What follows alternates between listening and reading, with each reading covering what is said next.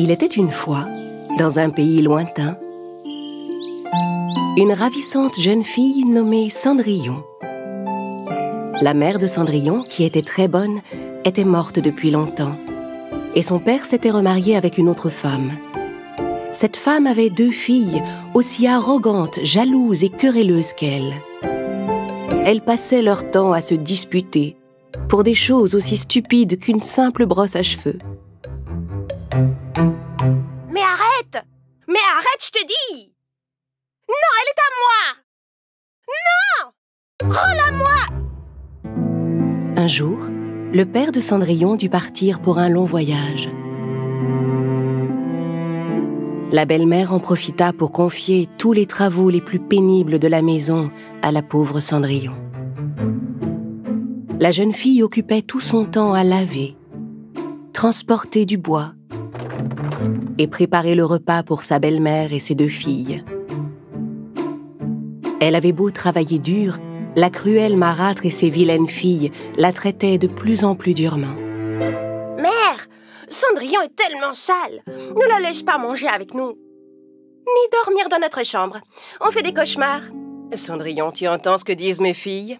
Tu iras te trouver un endroit pour dormir au grenier. la pauvre Cendrillon dut s'installer au grenier dans une vieille chambre sombre et poussiéreuse. De sa petite fenêtre, elle regardait le jardin et de temps en temps, elle recevait la visite d'un joli pigeon blanc. Bonjour, joli pigeon. Au bout de quelques jours, tandis qu'elle nettoyait sa chambre au grenier, Cendrillon rencontra deux petites souris. Qui êtes-vous tous les deux? Oh, euh, moi je suis Cheddar. Et moi, c'est Mozzarella. Et moi, je suis Cendrillon.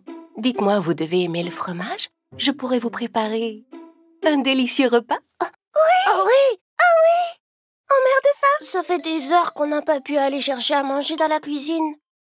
Il y a un gros monstre poilu qui nous empêche de passer. C'est encore ce gros vilain chat. Ne vous en faites pas, demain matin je vous préparerai un bon petit déjeuner. Le lendemain matin, Cendrillon descendit dans la cuisine sans faire de bruit. Pendant ce temps, le vilain Matou attendait devant le petit trou de souris du mur de la cuisine pour attraper Cheddar et Mozzarella. Cendrillon prit discrètement des morceaux de fromage et les emporta avec elle pour remonter au grenier. Mais elle se trouva nez à nez avec les filles de sa belle-mère. Qu'est-ce que tu tiens là? Et où est-ce que tu comptes aller avec ça, hein?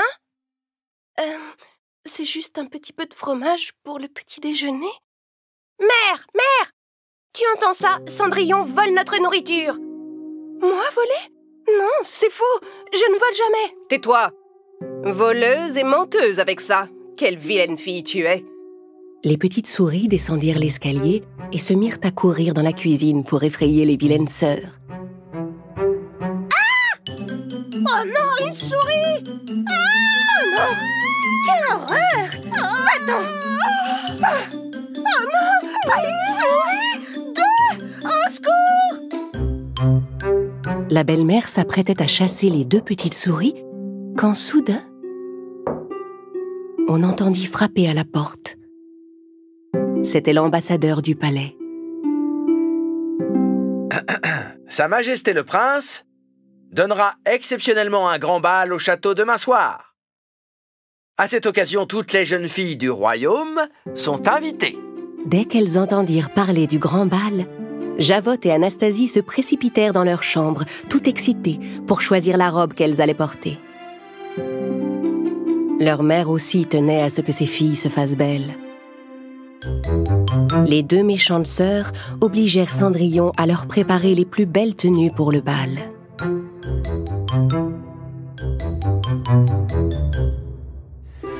Le lendemain, quand le jour se leva, Cendrillon était épuisée. Ses petites amies, les souris, vinrent la réveiller. Cendrillon, Cendrillon, réveille-toi Il faut que tu te prépares pour aller au bal ce soir Mais Je n'ai rien à me mettre. Je n'ai rien d'autre que cette robe et elle est toute sale. Ferme les yeux, Cendrillon, et suis-nous. On a une surprise pour toi. Les petites souris conduisirent Cendrillon de l'autre côté de la chambre. De son bec, le pigeon blanc souleva le tissu qui pendait à côté de la fenêtre. Oh, une robe toute neuve. Je n'arrive pas à le croire. Elle est merveilleuse. Cendrillon enfila la robe, coiffa ses cheveux et descendit rejoindre ses sœurs. Mais en la voyant si belle, les deux méchantes filles furent folles de jalousie. La marâtre ne voulait pas que Cendrillon aille au bal, parce qu'elle savait bien qu'elle était plus jolie que ces vilaines filles. Alors elle jeta un bol de haricots dans les cendres de la cheminée et ordonna à Cendrillon de les ramasser. Si tu peux retrouver les haricots dans les cendres et les remettre proprement dans le bol en moins de cinq minutes, tu pourras peut-être venir avec nous. Cendrillon avait tellement envie d'aller au bal qu'elle commença à ramasser les haricots. En voyant dans quelle situation elle se trouvait, ses amis accoururent pour l'aider. En moins de cinq minutes, ils avaient ramassé tous les haricots et tout remis dans le bol. Cendrillon courut vers sa belle-mère qui était déjà en train de partir et lui montra le bol de haricots. La marâtre était bien décidée à empêcher Cendrillon d'aller au bal. Elle lui dit qu'il n'était pas question qu'elle aille au palais avec une robe pleine de cendres. La vilaine femme et ses deux filles laissèrent Cendrillon et se mirent en route pour le château. La pauvre jeune fille était si triste. Elle alla s'asseoir dans le jardin et se mit à pleurer au pied du noisetier que sa mère avait planté des années auparavant. À cet instant, l'arbre se mit à trembler et à scintiller, et une magnifique fée apparut juste devant Cendrillon. Je suis une bonne fée, je suis venue t'aider. Ne sois pas triste, mon enfant. Toi aussi, tu vas te rendre à ce bal. Comment? Je ne peux pas y aller dans cet état Laisse-moi faire, je m'en charge. Il me faudrait juste une grosse citrouille. Pour le reste, j'ai ce qu'il me faut. Cendrillon alla chercher une belle citrouille au potager. La bonne fée agita sa baguette magique en direction de la citrouille, qui se transforma soudain en un superbe carrosse. Puis elle changea les souris en deux beaux chevaux et le pigeon blanc en un élégant cocher. Cendrillon n'en croyait pas ses yeux. Mais comment Comment est-ce possible?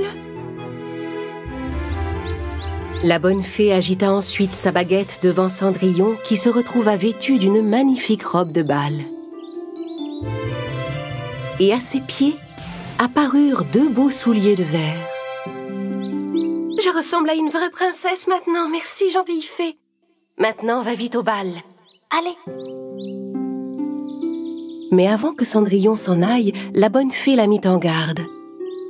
N'oublie surtout pas, tu devras être rentré avant minuit, sinon la magie s'envolera et tout redeviendra comme avant. Et maintenant, va, mon enfant. Cendrillon écouta attentivement la fée, puis se mit en route pour le château. Le carrosse la déposa devant les marches du palais. Cendrillon, resplendissante, entra dans le château. En voyant passer Cendrillon, tous les invités se demandèrent qui pouvait bien être cette ravissante jeune fille. Ni la méchante marâtre, ni ces deux vilaines filles ne se doutèrent un instant que la belle inconnue était Cendrillon. Le prince s'avança vers la jeune fille et tomba aussitôt amoureux d'elle.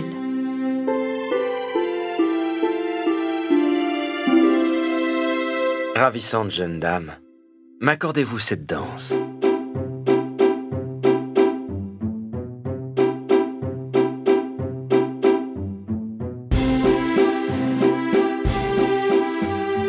Cendrillon était tellement émerveillée de danser avec le beau prince qu'elle ne voyait pas le temps passer. Mais au moment où l'horloge allait sonner minuit, elle se rappela les mises en garde de la bonne fée. N'oublie pas, tu devras être rentré avant minuit, sinon... Cendrillon laissa brusquement le prince et se précipita hors du château. Mais où allez-vous? Je ne connais même pas votre nom Cendrillon dévala les escaliers du palais si vite qu'elle en perdit un de ses souliers. Mais elle n'avait pas le temps de revenir en arrière pour le ramasser. Elle courut vers son carrosse et s'enfuit du château aussi vite qu'elle le put. Retrouvez la belle jeune fille qui a perdu ce soulier. S'il le faut, faites essayer la chaussure à toutes les jeunes filles du royaume. Au douzième coup de minuit, tout ce que la fée avait changé redevint comme avant. Cendrillon remonta dans sa chambre au grenier. Elle repensa à la merveilleuse soirée qu'elle venait de passer avec le prince et se rendit compte qu'elle en était tombée amoureuse. Mais il lui semblait impossible que le prince puisse un jour la reconnaître avec ses vieux haillons. Au bout de quelque temps, le prince fit construire un grand bâtiment à côté du palais pour y exposer la pantoufle de verre. Toutes les jeunes filles du pays venaient y essayer la chaussure à tour de rôle.